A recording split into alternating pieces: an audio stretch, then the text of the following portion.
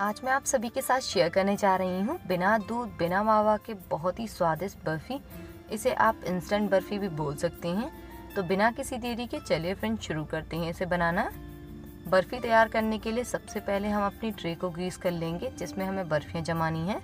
तो सबसे पहले हम इस ट्रे में डालेंगे एक बटर पेपर आप चाहें तो इसकी जगह फॉयल पेपर भी डाल सकती हैं। साथ ही इसमें डालेंगे थोड़ा सा घी और घी डालकर इसे अच्छे से ग्रीस कर लेंगे। जिससे बर्फ़ियाँ जो है वो नीचे चिपकेंगी नहीं और आसानी से अलग हो जाएँगी। अब हम इसमें डालेंगे थोड़े से कटे हुए पिस्ता अदरवाइज़ जो भी ड्राई फ्रूट्स जिससे आप गार्निश करना चाहती हैं। इसी के साथ हम इसमें डालेंगे थोड़ी से गुलाब की पत्तियाँ, जिससे हमारी जो मिठाई है वो देखने में और भी ज़्यादा रिच और टेस्टी लगेगी। तो अब हम इसे साइड से रख देंगे और अब हम यहाँ पे लेंगे एक पैन या कढ़ाई, जिसमें भी आप मिठाई बनाना चाहते हैं। इसमें डालेंगे हम आधा कप जितना दूध इसी के साथ हम इसमें डालेंगे 100 ग्राम, यानी कि आधा कप जितनी ही चीनी। और अब हम इसमें डालेंगे दो चम्मच जितना देसी घी। अगर आपके पास देसी घी अवेलेबल नहीं है तो आप कोई भी फ्लेवरलेस ऑयल भी इसमें यूज़ कर सकते हैं।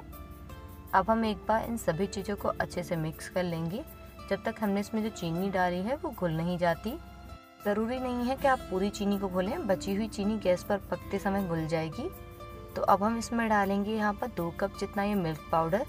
आपको यहाँ पर डेरी वाइटनर बिल्कुल भी नहीं लेना है। अगर आप डेरी वाइटनर लेंगे तो आपकी जो बर्फियाँ हैं वो एकदम चिपचिपी बनेंगी। आप कोई भी स्किम्ड मिल्क पाउडर ले सकते हैं किसी भी ब्रांड का। तो अब हम इस मिल्क पाउडर को अच्छे से मिक्स कर लेंगे। इस तरीके से आप देख सकते हैं।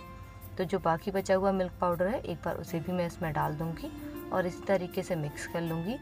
अगर आपको ईजिली मिल्क पाउडर ना मिले तो आप मेरे बताए गए नीचे लिंक से इसे ले सकती हैं।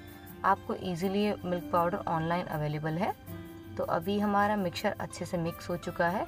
तो अब हम इसे गैस पर चढ़ा देंगे पकने के लिए। गैस के फ्लेम को एकदम मीडियम रखेंगे। लो टू मीडियम गैस के फ्लेम पर हम इस मिक्सर को लगातार चलाते हुए पकाएँगे। क्योंकि मैंने आपको बताया कि ये इंस्टेंट बर्फ़ी हैं, जो कि बहुत ही झटपट बन जाती हैं तो इसे पकने में मात्र तीन से चार मिनट का समय लगेगा और तीन से चार मिनट में आपका एकदम परफेक्ट मिक्स तैयार हो जाएगा। इसको आपको इस तरीके से लगातार चलाते रहना है। अदरवाइज़ मिक्सचर जो है वो नीचे तले में लग जाएगा और इसमें गांठें पड़ जाएँगी। इसके बाद आपको बर्फ़ियाँ जो हैं वो खाने में उतनी ज़्यादा अच्छी नहीं लगेंगी।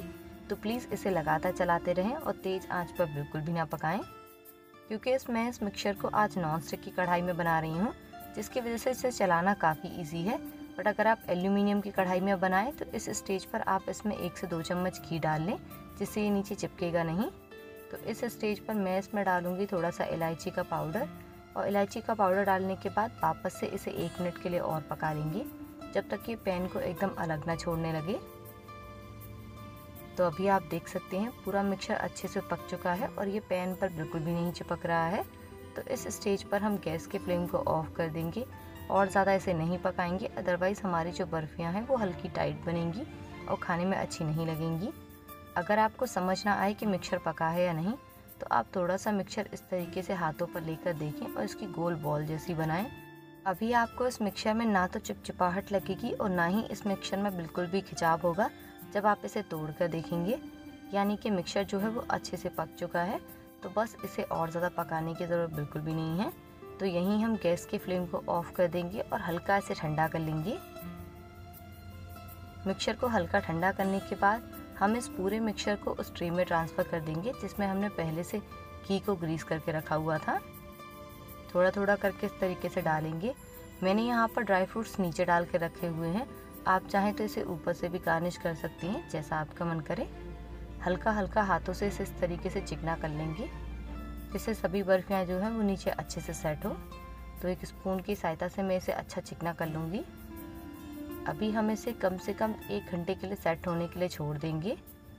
एक घंटे के बाद आप देखेंगे, हमारी जो बर्फियों का मिक्सचर है वो एकदम परफेक्टली सेट हो चुका है। तो अब हम इसे डीमोल्ड कर लेंगे। बहुत ही आसानी से ये जो बर्फियाँ हैं वो निकल जाती हैं, क्योंकि हमने इस पर बटर पेपर लगाया है तो चिपकती तो बिल्कुल भी नहीं है। बट अगर आप किसी भी स्टील के बर्तन में बना रहे हैं बिना बटर पेपर के तो इसे हल्का सा गैस पर रख दें, जिससे ईजिली आपकी बर्फ़ियाँ डीमोल्ड हो जाएँगी। तो देखिए फ्रेंड्स कितनी परफेक्ट हमारी बर्फ़ियाँ तैयार हुई हैं। तो अभी मैं आपको इन बर्फ़ियों को पीसेस में कट करके दिखाती हूँ कि इसका टेक्स्चर कैसा है। तो अभी मैं आपको काट कर दिखाऊँगी। देखिए फ्रेंड ये जो बर्फियाँ हैं वो बिल्कुल भी काटते समय चाकू पर चिपक नहीं रही हैं। यानी कि हमारा जो मिक्सचर है वो एकदम परफेक्टली पका है। तो अभी मैं आपको इसे छोटे छोटे पीसेस में कट करके दिखाऊँगी। आप इसके पीसेस अपनी इच्छा अनुसार थोड़े लंबे या चौकोर जैसे भी आप कट करना चाहते हैं, वैसे कट कर सकती हैं। तो मैं इस इस तरीके से चौकोर पीसेस में कट कर लूँगी। तो लग रही है ना फ्रेंड्स ये बर्फ़ी एकदम मार्केट से ऐसी, जैसी बर्फियाँ आप मार्केट से लाते हैं सेम उसी तरीके का टेक्सचर है। बाकी त्यौहार के टाइम पर मिठाइयों में काफ़ी ज़्यादा मिलावट आती है, जिसकी वजह से मैं आपको सजेस्ट करूँगी कि आप इस तरह की मिठाइयाँ घर पर ही बनाइए, जो कि काफ़ी शुद्ध भी होती हैं और बहुत ही टेस्टी भी।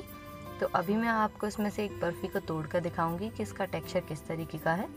देखिए फ्रेंड्स इसमें बिल्कुल भी चिपचिपाहट नहीं है और बहुत ही परफेक्ट बर्फ़ियाँ बनी हैं। तो प्लीज़ आप भी इस रेसिपी को ज़रूर ट्राई करें और अपने प्यारे प्यारे कमेंट करना ना भूलें कि रेसिपी कैसी लगी।